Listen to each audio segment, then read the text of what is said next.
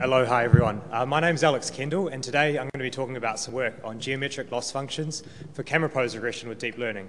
And this is joint work with Roberto Cipolla from the University of Cambridge. So the problem we're addressing is trying to estimate a camera's position and orientation in 3D space from a single image.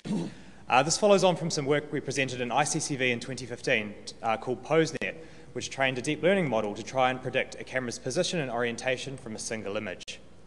Now this, uh, this model was trained with a sort of naive loss function that was just a regression function trying to predict both position, x, and orientation as a quaternion with a weighting factor between them.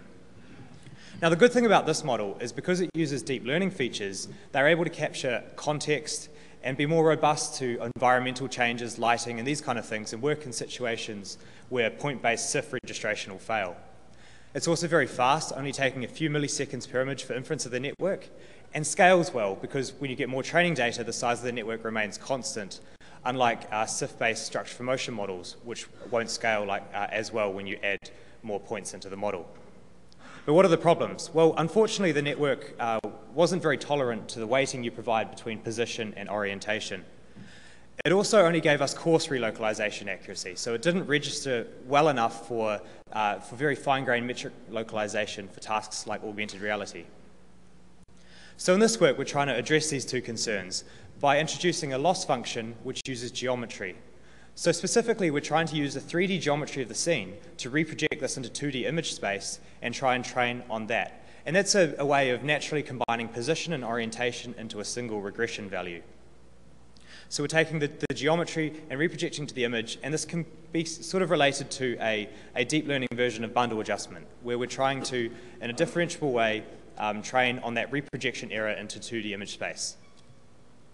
We show our results on a few data sets. Firstly, Cambridge landmarks. This is a, uh, this is a data set across small street scenes, uh, and it has 8,000 images from six uh, street level scenes.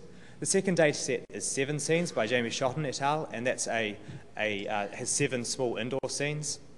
And then finally, probably the most challenging data set is the Dubrovnik data set, because it's over a, a, small, a small town in Europe, and it, it, has images of a number of different camera types with different aspect ratios and taken from all different seasons and weather conditions.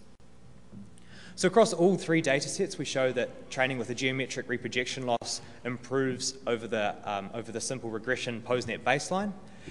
And we, and, we, uh, and we significantly improve performance, perhaps not quite enough for the fine-grained localization accuracy, but it's definitely a, a clear advancement over, um, over the naive regression model.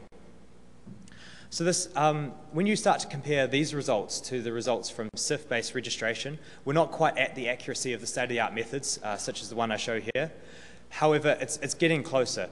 The resolution, uh, it, the, the, advantages of this method are also that it requires much smaller resolution than, uh, than SIFT-based registration approaches because it uses shape and context, and the inference time is much faster.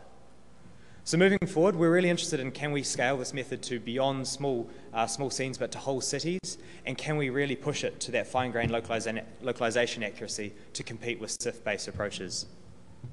So I'd love to invite you all to come and discuss more at our poster. We have more results, including what to do if geometry isn't available and how you can train then. Also on modeling uncertainty and on the different rotation representations uh, that we can use. There's a web demo which you're welcome to check out, and we have a tutorial tomorrow on large-scale localization. So thanks for your attention. Cheers.